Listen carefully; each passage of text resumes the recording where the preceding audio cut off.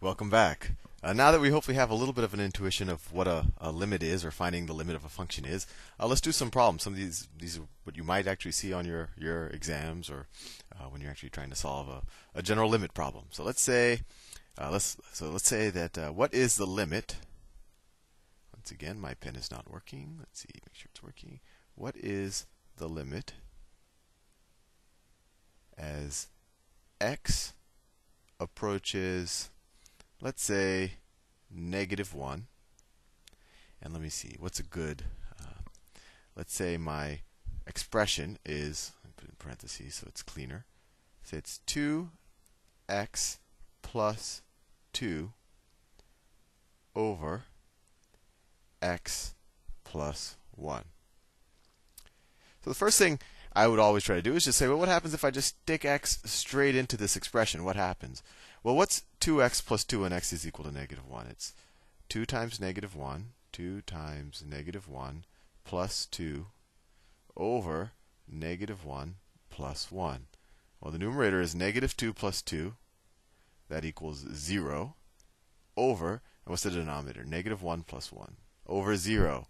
And do we know what 0 over 0 is? Well, no, it's, it's undefined, right? So here's a case, just like what we saw in that first video, where um, the, the limit actually can't equal what the expression equals when you substitute x for the, the number you're trying to find the limit of, because you get an undefined uh, answer. So let's see if using the limit we can come up with a with, with, a better answer for what it's approaching. Well, since we're just starting with these limit problems, let me draw a graph, and I think this is going to give you the intuition uh, for what we're doing. Uh, it'll probably give you the answer, and but then we'll I'll show you how to solve this analytically. So if I draw a graph, so these are the axes. Actually, probably I'll do the graphical and the analytical um, at the same time. So I want to rewrite this expression in a way that maybe I can simplify it. So 2x plus 2, isn't that the same thing as 2 times x plus 1? Oh my, see this pen, this tool. 2 times x plus 1, right? 2x plus 2 is the same thing as 2 times x plus 1. And then all of that is over, all of that is over x plus 1. So as long as this expression um, and this expression don't equal 0, it actually turns out that this function, let's say that this is f of x, right? This function well, for, for every value other than x is equal to negative 1, you could actually cancel this and this out. And so, really, we see that f of x is equal to, I need to find a better tool. f of x is equal to 2 when x does not equal negative 1. And we saw when x is equal to negative 1, it's undefined. So undefined, undefined, undefined when x equals negative 1. So how would we graph that? We show that f, f, f of x is equal to 2 when x does not equal negative 1, and f of x is undefined when x equals negative 1. And once again, all, all I did is kind of rewrite this exact same function, right? I, I show that I could simplify and I could divide the numerator and denominator by x plus 1 as long as x does not equal negative 1. And then otherwise, it's undefined. So let me graph this. I'm going to get a different color. Maybe I'll go with red. There we go. So this is 2. So we see that x is, and let me say this is negative 1. So for every other value other than negative 1, the value of this of f of x is equal to 2. This is just, you know, this is 1, this is 2, this is 3. I don't know why my pen stops. Uh, this is 3, so on. At negative 1, the graph is undefined, so there's a hole there. And then we keep going to the left hand side. So if we're going to do the limit, um, we can uh, just visually say, well, as x, as let me do another color now, as x comes from the left hand side, as x goes from this side, what does f of x equal? Well, f of x is 2, 2, 2, 2, 2. f of x is equal to 2 until we until we get to exactly negative 1, right? And similarly, when we go from the other hand, it's the exact same thing. f of x is 2, 2, 2 until we get to negative 1. So you'll see, I mean, and actually you see it visually here, that the limit of x, the limit as x approaches negative 1 of 2x plus 2 over x plus 1, it equals 2. Let me draw a line here so you don't get messed up with all the work.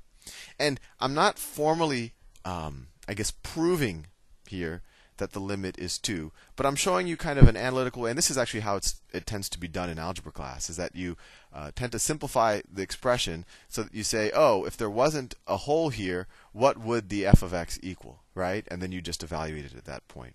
I think this might give you a little intuition, but this isn't um, this isn't a formal uh, solution. But you, uh, unless you're asked to, you're, you're, you you tend not to be asked for a formal solution. You actually just tend to ask what the limit is, and this is the way you could solve it. And actually, another way that you could you tend, I mean, I, I often used to check my answers when I used to do it is, I mean, you could take a calculator and t- try in, you know, what happens when what is f of minus 1.001, right? And you could also try what is f of point negative 0.999, right? Because what you want to do is you want to say, well, what does a function equal when I get really close to negative 1? And then you could keep going closer and closer to um, negative 1 and see what the function approaches. And in this case, you'll see that it approaches 2. So let's do another problem. Let's do another problem. Well, let's say, what is the limit? What is the my pen? Oh, I'm in the wrong layer. What is the limit as x approaches 0 of 1 over x. I think here it might be useful to draw this this graph because it'll give you a visual reason, uh, a visual representation. Actually, let, us do it both ways. Let's say let, us do it the picking numbers method because I think that'll give you an intuition. And maybe it'll help us draw the graph. So let, let's say that this is f of x. Let's say that f of x, f of x. You can tell my presentations are very unplanned f of x is equal to 1 over x. And we want to find the limit as x approaches 0. So what is what is f of what is actually let's make a table. f of x hmm, this tool x. So clearly when when x is equal to 0, we don't know. It's undefined. It's 1 over 0 is undefined, which is, you know, so we get we get undefined.